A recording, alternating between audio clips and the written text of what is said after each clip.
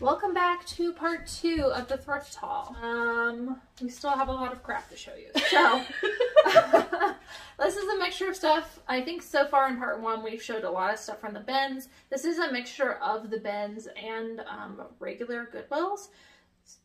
Goodwills, mainly Goodwills. We Yeah, have there was there was some Salvation Army stuff too. But all the stuff we found just by thrifting.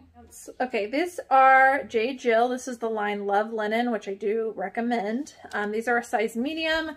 These are a pair of women's um, like wide leg tan pants, linen pants with pockets. Linen does well during this time of the year. Does need a good steam, but in otherwise great condition. Um, J. Jill is a pretty tried and true brand for us. We don't pick up everything, but like a lot of stuff by them does pretty well. Um, quick flips and all those do add up. We expect this to sell for about $25. One of my favorite brands to find all the time is Lucky Brand, whether it's tops or pants. Um, we always try to pick out the more unique things. So we got this one, um, one because of kind of the crochet look here. Um, also because it is crocheted all down the back as well, which is pretty cool.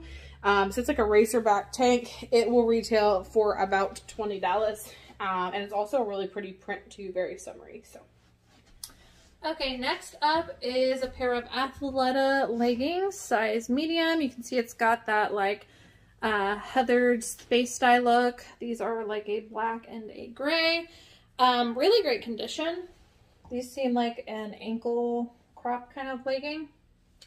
Now, the thing with Athleta is you can look up the exact style number, which I don't think we've done yet. Um, but without looking up that style number, kind of expect these to go for about 25 to 30.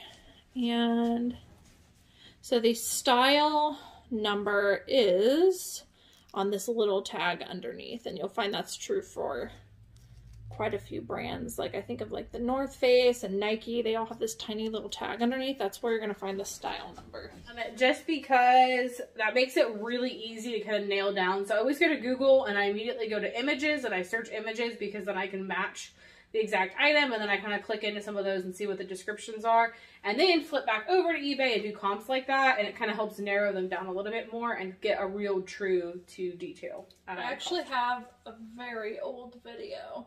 Not old old, but like back when I wasn't so confident on filming. I have a how to look up style number video and how to look up RN number, so I'll link that above if you are not confident on how to um, look up style numbers. I talk kind of slow on it. It's not as entertaining, but the information is there, so I will link it above. That is huge too. So for me, like being newer, obviously Cayley can kind of walk in and be like, oh, I know this brand, I know this brand, I know this brand. I don't necessarily. Um, and so when I started, like I picked up a lot of things, let's be honest, I probably shouldn't have, and like kind of had to figure it out as I go, you know. Um, but now knowing that style number, I can actually look up the exact item in eBay and know that what I'm getting is more consistent.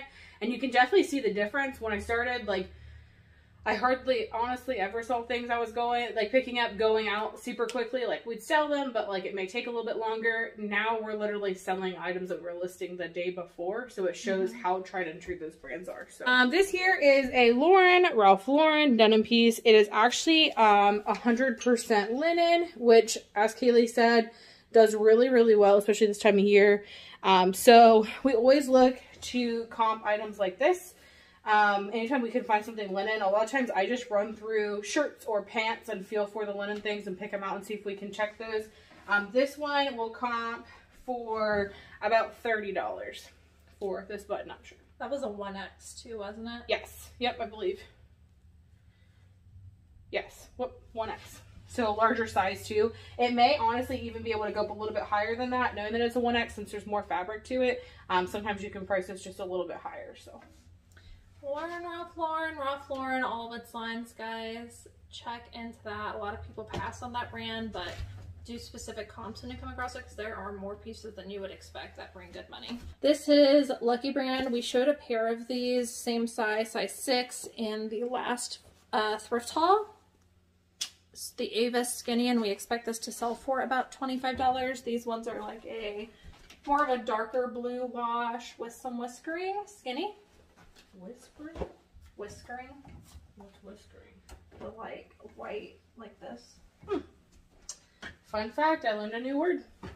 So this is a Madewell um, shirt. So we were just talking about searching up style names. Um, you could search this as just like a Madewell quarter button up women's blouse or woman's shirt. Um, but finding those, there's like thousands of them. So I actually came in and searched whoop, the style number right here, the 08787.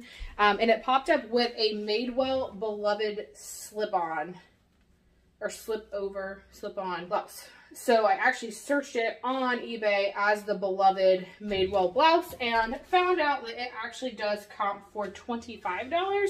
Um, whereas a lot of the other just like quarter button ups were only running for like 15 to 20. Um, so we'll end up getting an extra $5 out of this just because we searched that style name. Okay, I'm moving in those, like I mentioned last video, we've got these in stacks of similar items. So that was like a lot of women's pieces. Um, there's a doggy. Oh, you're so cute.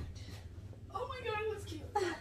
Okay, so moving on to some of the men's pieces, I did want to say in this video that we, for the last probably just about a week, have started when we go into a thrift store, we go directly to the men's section now first and pretty thoroughly go through that. Um, I personally, I love selling men's stuff mainly because there's not that emotional attachment. Like I can, I can do comps and not go, oh, but it's so cute. Like I should just go ahead and get it. Like I'm sure somebody's gonna want this. Like with men's stuff, since I don't wear men's clothing, I find it easier to not have that emotional attachment. Plus men's clothing, like the style names usually there, there's not as many variations as women's.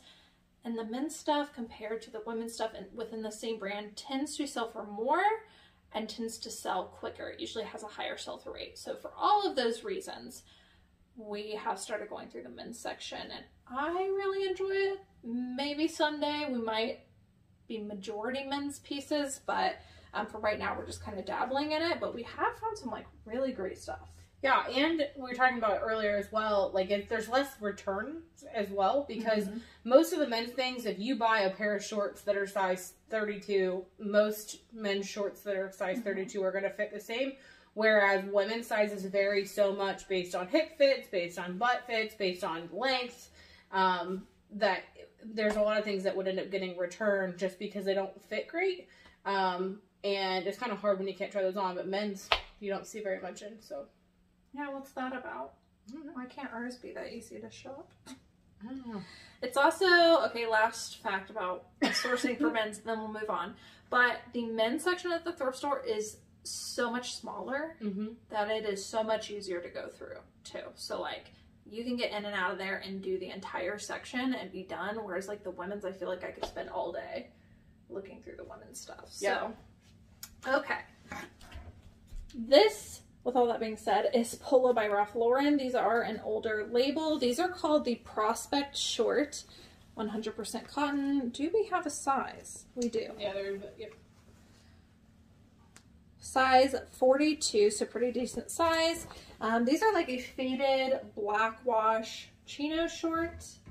We expect these to sell for about $25. So this is a Torrid Women's Floral Tank. It's V-necked. I really like this. Every time I look at it, I kind of debate if I want to snatch it out of here, but I need to not because where am I going to go other than here?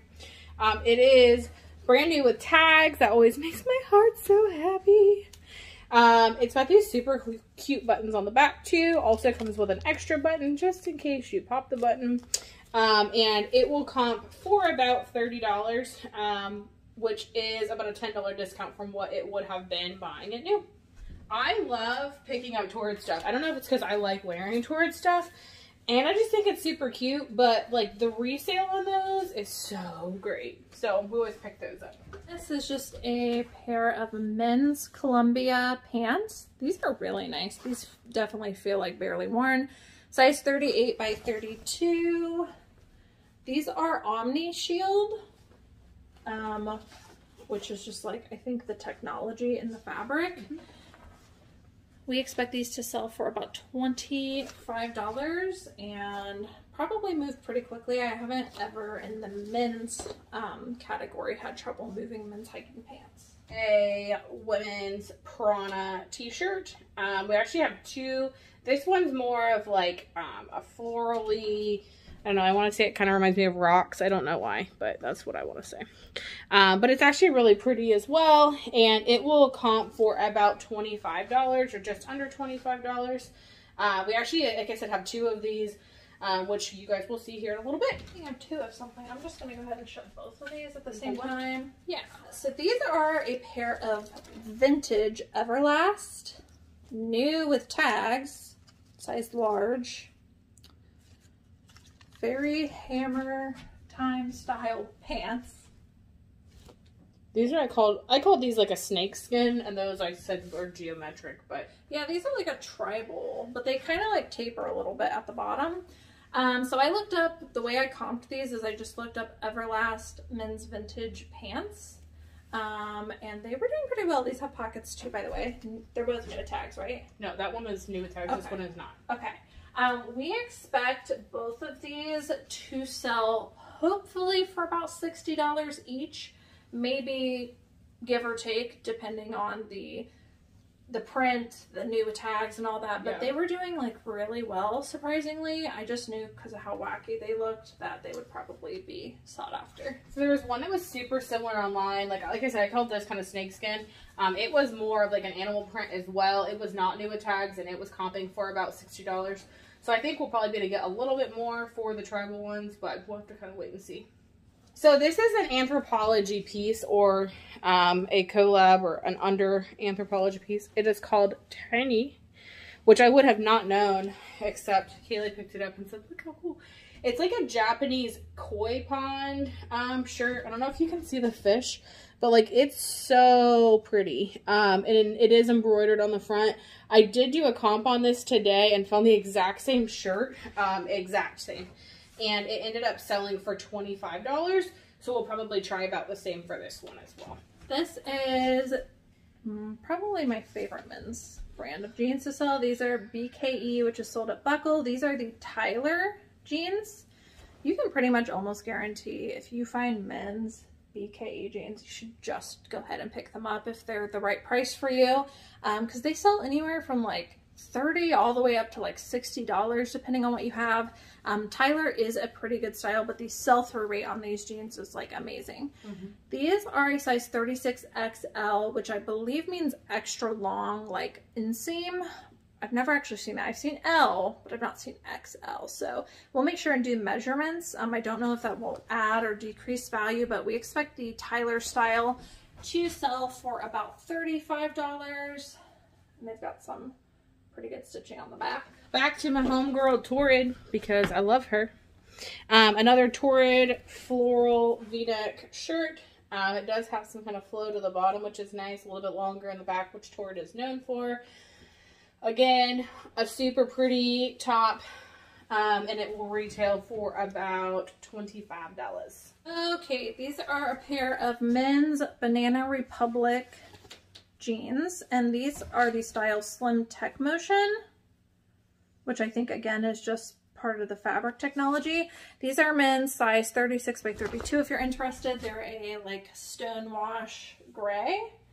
And this particular style, the Slim Tech Motion, had a pretty decent sell-through rate. We expect them to go for about $28. We got another Lucky Brand shirt here. Um, this one is button up down the front here. Um, it also has some really cool prints to it as well.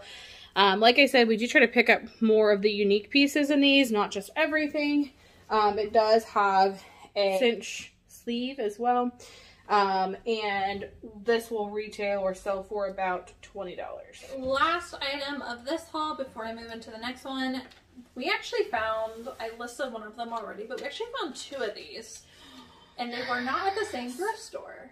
Well, we we found one. We found three, but one of them was completely damaged. Um, but this exact style is Lululemon ABC pants. I think I think there's something about, anyways, they're called the ABC pant, and we found that out by looking at the size. Classic Warpstreme. Warp stream, that's what it was. Warpstreme pants, and we found that style out by looking for the size dot. So these are size 36. See all those letters and numbers around that? You can actually look up part of that code string and find the style name. So that's what we did.